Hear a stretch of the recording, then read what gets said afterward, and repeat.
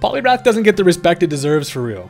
Well, I mean, its stats are definitely not good, but it's got a few tricks. Its ability Swift Swim allows it to double its speed in the rain, making Buddy actually super fast. It can also bust out Belly Drum, maxing out its attack at plus 6, at the cost of half of its health. We pop a Sitrus Berry to bring it back to pretty healthy, and now basically nothing outspeeds it, and even resisted liquidations in the rain grab knockouts. It can use Drain Punch for some healing and Close Combat for some big ol' damage when needed. And at 0% usage, Poliwrath is super underrated when it can pull off this type of nonsense.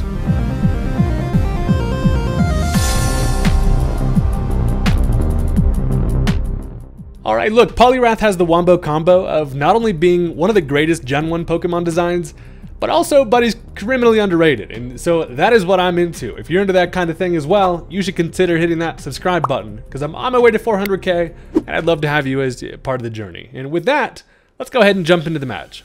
Alright, so my dude's gonna go ahead and lead off with the Mew. Now, of course, this little fella can do whatever it wants, but as a lead Mew, I'm kind of expecting this thing to go for something like a potentially a taunt, or just set up Stealth Rock and just be a little lead Mew guy. Now, it turns out, however, they're to go for Scald, so um, did not expect, but it does in fact break my sturdy on the fortress as I'm just here to just be an orb to who sets up Stealth Rock. So I do get my rocks up, and they probably just kind of wanted to get some chip on the fortress, potentially burn, and make my life a little bit worse. But at this point, I'm thinking they probably go for Stealth Rock at this point, and I'm going to Volt Switch and try to get myself a better matchup here. So they're actually just going to fire off some more Hot Water, which does bring me below half, which honestly kind of is not great for the Fortress, but I can't get the Volt Switch and now go into whatever I like. So the plan with this team is Prankster Tornadus, who is able to set up some Rain Dance, and then of course Poliwrath is a guy who enjoys being moist. So I bring in the Tornadus first, and Mew is looking at me like I'm their parent telling me he threw up in the middle of the night. So I'm to go for that Prankster Rain Dance, and uh, we're to try to make it rainy early out here. So I'm kind of interested to see what this Mew wants to go for, and it turns out they're actually just going to set up the Stealth Rock this time. So they are in fact here to set up some hazards. So here's the thing, if they want to go for boosted Scalds in the rain, I could potentially go into Poliwrath to Water Absorb, However, I'm just going to go for the U-turn, get a little bit of a pivot, and see what they want to do. I'm almost kind of expecting them to then have something like spikes or potentially some screen setup. So I do take some Rocky Helmet chip, which uh, does at least reveal what this thing's working with.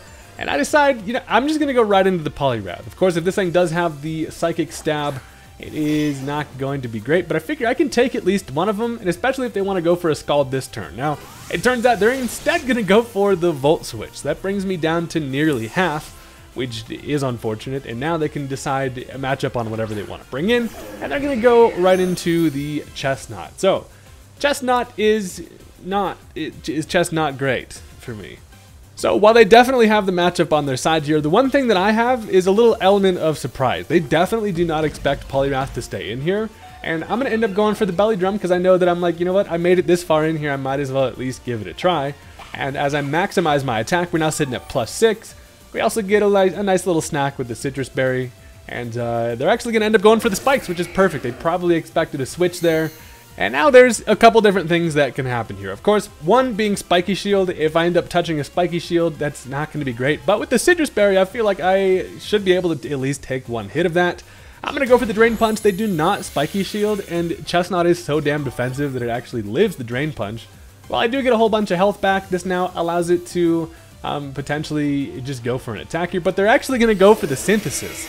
That brother is in fact synthesizing in the rain, so it actually doesn't get the full amount of health back. Does it bring? It does bring it like just below half, which I'm like, okay, this is actually perfect. Now if I can conserve rain turns, Poliwrath is actually in a great spot. So I don't know if they expected me to just get out of there. Uh, regardless, the synthesis allows me to now just go for the close combat to finish it off to guarantee a fella dies. And down goes the Chesnaught, which is basically their best defensive answer to the Poliwrath at this point. So now they can go into whatever they like. They decided to bring in the Excadrill. Now, Poliwrath, of course, with my doubled speed, should easily be able to outspeed the guy and uh, just enjoy these rain turns kind of while I got him. Plus, I can Drain Punch, try to get some health back, and make the longevity allow this fella to stick around. So I go for the Drain Punch here. They're actually going to end up switching into the Mew, thinking potentially this thing can take uh, the fighting hit. I'm trying to be a little bit careful about going for things like Drain Punch because they do have uh, the ghost type in the form of Dragapult in the back. So as Mew comes in, bop him right in his little kitty face, And uh, I do take some Rocky Helmet, which is fine because, you know, I healed it back anyway. And now we are absolutely rolling with the poly. So back comes the Excadrill. I am concerned about a potential little sneaky Tera there. So instead of going for the fighting move, I'm going to go for the liquidation instead because I've seen my fair share of Tera Ghost happening on Steel type. So I also don't really have much of a reason to go for the Drain Punch there. I know a liquidation is, is at freaking plus six and in the rain. It's to kill just about anything. So it turns out they do bust out the Tera Ghost, expecting me to go for that fighting move. But the liquidation surprises his ass, and that does take the freaking mole back to the Shadow Realm where he belongs. So that gets rid of the Tera, so no more sneaky surprises there. And now we're basically just trying to use up all the rain turns that we got and see if we can just fully body bag them with the Wrath. So in comes the Greninja, and as I'm looking at Greninja here, I'm thinking they might be trying to bait me into going for another fighting move and then just switching into the Dragapult, basically wasting a rain turn. Because at this point, I think I have two turns left, and uh, I'm going to go for the Liquidation instead, just because, again, at plus 6, boosted by Stab and in the Rain, it's it does a lot even through Resist. So they do actually end up switching into the Dragapult here.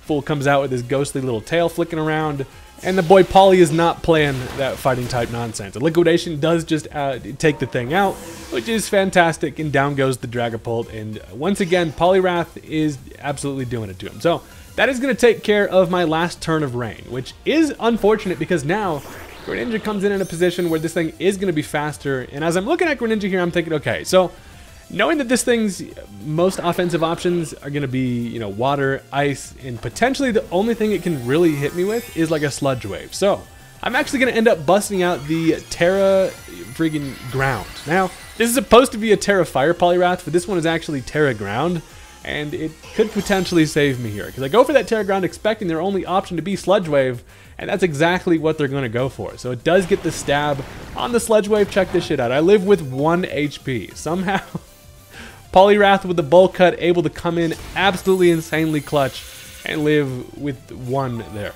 due to the freaking Tera. So accidental wrong Tera comes in clutch. I guess not. I just been experimenting with different Teras, but in this situation, knowing that Sludge Wave was their best option there it was very nice for me. So at this point, they now just basically have breakfast in the form of one nice little egg here, and uh, Blissey is not going to have a fun time with the Drain Punch. So they're actually just going to head out, and that is going to be the end of the match. So I thought that was just an interesting game there with the freaking 1 HP live Poliwrath is the damn undisputed GOAT. So you already know that we're not stopping there. I do have another match for you because Poliwrath is extremely fun. Not a lot of people are expecting Belly Drum from this thing, which is fun. He's like the the freaking the face of Belly. I feel like he's the Belly Drum guy. You know, he just looks like he'd be belly drumming. But uh, let's go ahead and jump into it.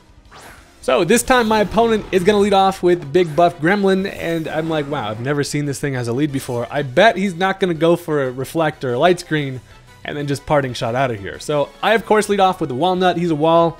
He's a nut, and of course, he's here to party. So they do go for the Reflect, of course, as I'm just to lay down my Stealth Rocks and be like, hey, I'm just to... I'm just to set these here. Don't mind me just being a walnut guy. So I get up my rocks, which is great. And as I'm looking at their team comp, they do not have a Rapid Spinner, but they potentially could have Noivern with Defog, something like that. I'm, regardless, I'm just to go ahead and lay a nice little layer of spikes here try to punish some switching and just be annoying. So they do in fact go for the parting shot, so called exactly what this fellow was going to do.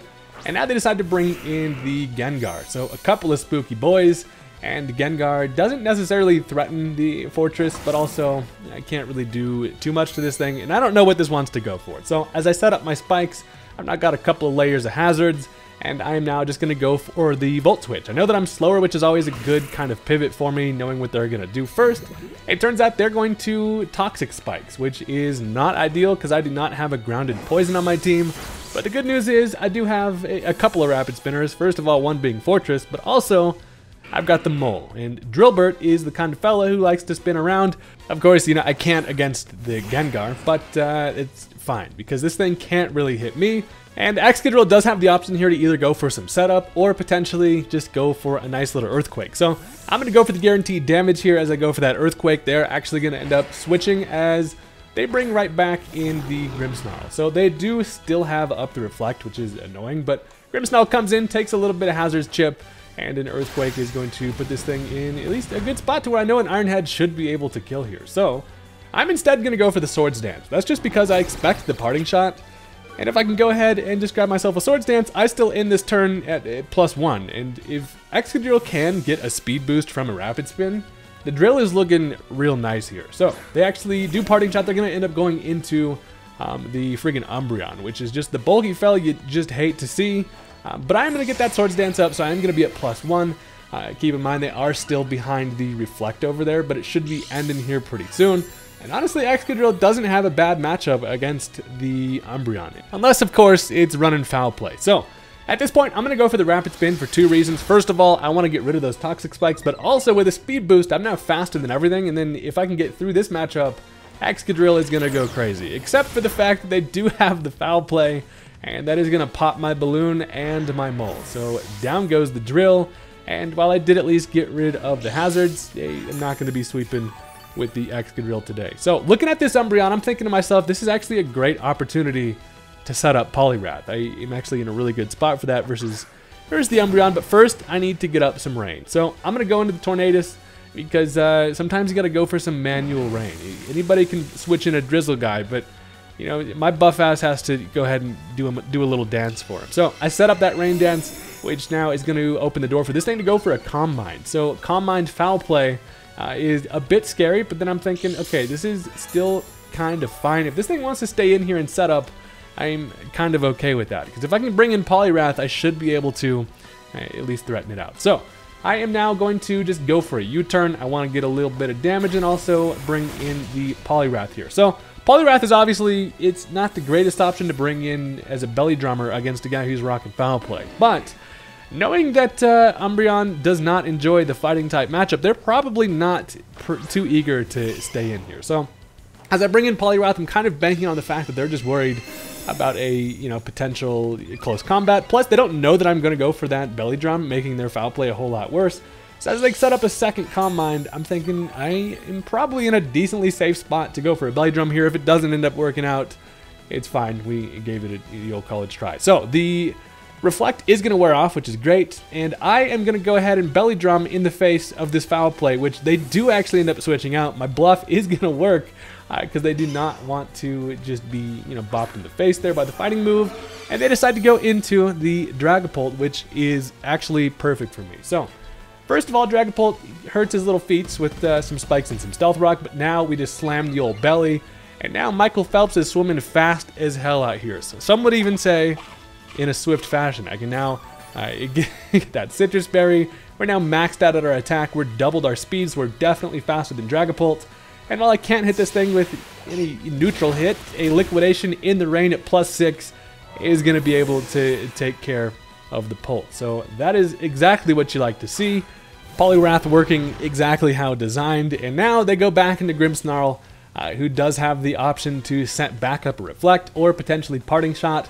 I'm just going to Liquidation as it turns out they in fact just don't go for either and Liquidation just takes care of the Snarl and it's gotten to the point where this Poliwrath is basically out of control here because you'll notice as they bring in the Noivern, it does take that Stealth Rock chip, so not going to be heavy duty boots, which is fine by me. And while I cannot hit this thing with the neutral attack either, you know, I noticed that uh, Liquidation in the range should be able to do it. Now I'm actually going to end up busting out the Tera Fire here, just because if they want to somehow be a defensive fella and live this liquidation, at least the Tera Fire will, will allow me to um, live in Air Slash. So I just go for that liquidation into rain, definitely just takes care of the Noivern, and that is going to be a dead old Bat Boy. So now as they bring in Gengar, everything gets outsped by the, the Poliwrath here. I've got tons of rain turns left, and uh, at plus six, we're just over here with a chandelier in the rain, and just doing some weird frog shit. So that is, they're actually to head out because, yeah, the Poliwrath, it gets out of hand. It, it just, it happens. So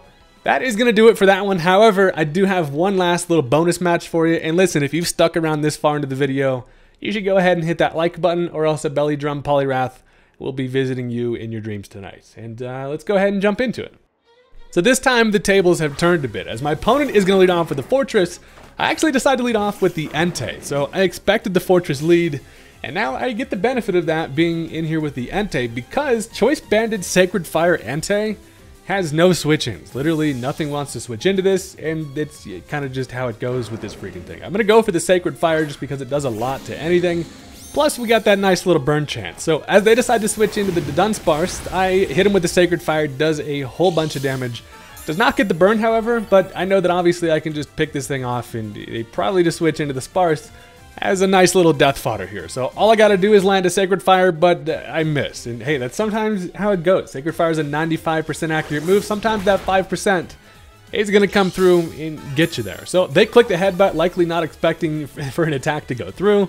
And, you know, this is fine. Not a huge punishment for the miss. And I'm just to go for another Sacred Fire. But this one misses. I missed two in a row. Two 5% misses in a row now is to punish me with a Glare. So this thing goes for the Glare, which is to paralyze me. And now I have the option to be freaking flinched by headbutts if this thing is now faster being paralyzed. And I'm like, please, Entei, just just land the Sacred Fire. This thing was a freaking sack switch in here, and now it's just being an asshole. So it does outspeed, goes for the headbutt. Luckily, doesn't get the flinch, but guess what? I go for this third Sacred Fire, and it misses again. I have no idea what's going on here. I just missed three 5% chances in a row. I don't even know the odds, but surely that's that doesn't happen often. And I don't think that's even happened to me since this game came out. So I do luckily not get flinched or paralyzed by this next headbutt and uh, I am going to connect on the fourth Sacred Fire.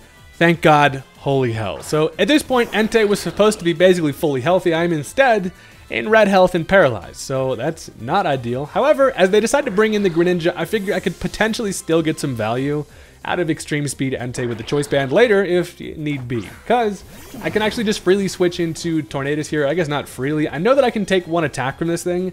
And this Greninja matchup is really enticing for Poliwrath. And that's basically what I got, got my eyes set on here. As they go for the waterfall, I can take at least one of them.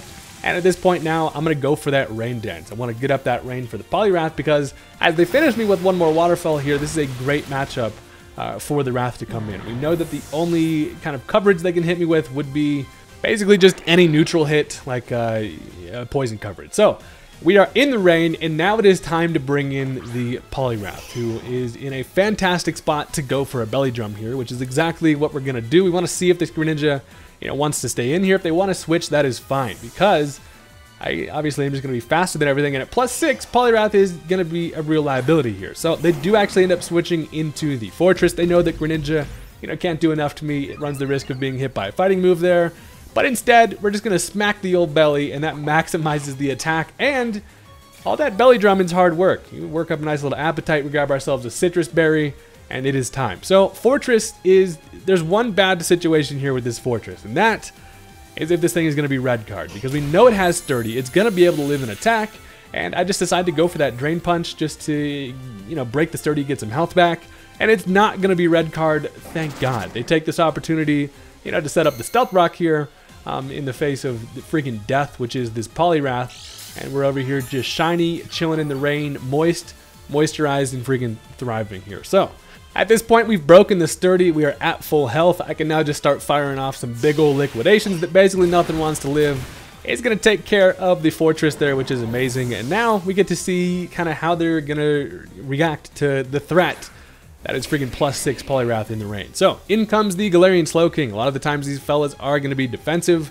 Uh, it just depends on how defensive you're going to be here, guy. Because I go for the liquidation, and yeah, that just absolutely obliterates the fella. So down goes the Slowking. And as long as this rain is around, we are basically just speedy and faster than everything. So here's the thing. They decide now to go into Greninja. And uh, I'm just like, okay, this is fine. I can go for a Drain Punch here, have myself a little drain in time.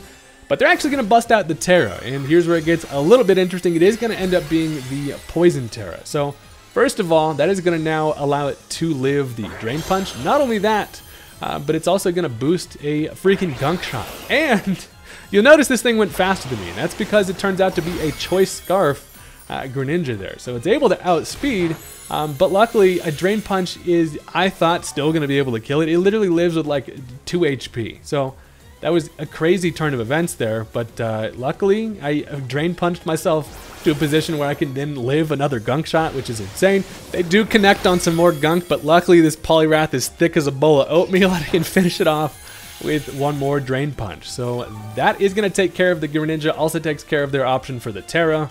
And while, you know, that is going to be really nice for us, they're still in a position where they have some pretty big threats in the back and I don't have enough rain turns to finish off the eh, the full sweep with the Poliwrath, at least I don't think. So, they're now going to bring in the Iron Valiant. And this thing is going to be booster energy speed. Here's the thing. If it is plus one speed, um, and it's not a plus speed nature, I'm actually still faster than this thing in the rain. So I'm just going to go for a liquidation here, but they realize that thing is probably going to be their late game win condition. So they switch that thing out. They decide now to bring in the Hydrapple, uh, who is definitely a guy that can take a liquidation. Even in the rain, it's not going to do a whole lot to the thing.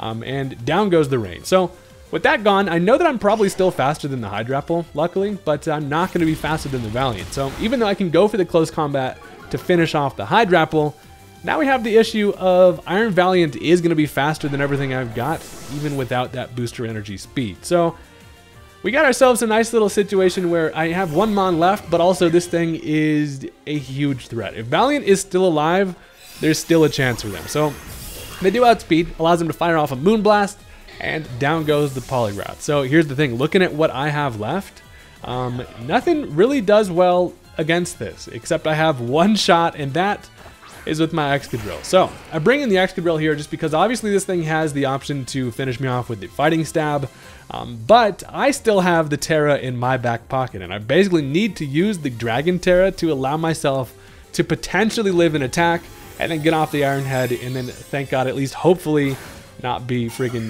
reverse swept by this Iron Valiant. So I bust out the Dragon Tera. That's just because I do not want to get destroyed by any any type of fighting move at this point.